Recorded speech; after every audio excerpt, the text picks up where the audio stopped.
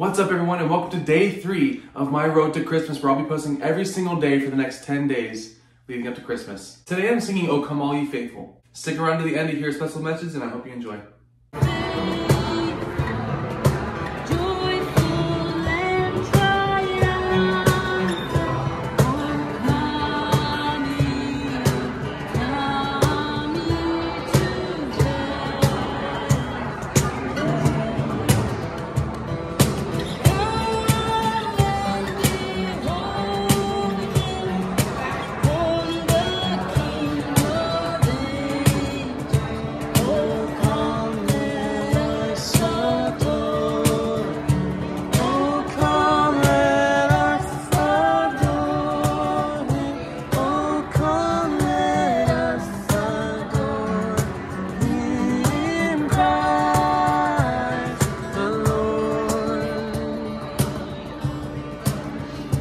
Well, he was going fast, and I went fast. He was going fast, and I went fast.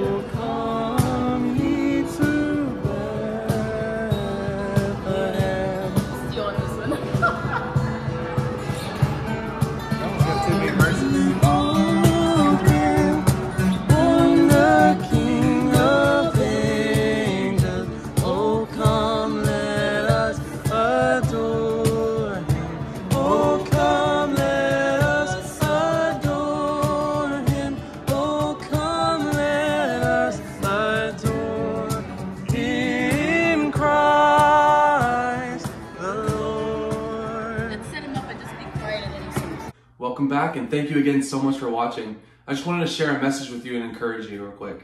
Loving others does not mean that you need to willingly be mistreated or agree with someone else's worldview or lifestyle. It does, however, mean that we need to use every opportunity that we have to love them just like God loves them. Just like it says in 1 John 4:19, we love because he first loved us. So this holiday season, when you're going to be around some family, some friends that may not agree with your lifestyle or your worldview or how you live, do your absolute best to pre forgive and love them just like Jesus would love them. Someone in your family might be a little frustrating, but hey, God called us to act like Jesus and to live like Jesus.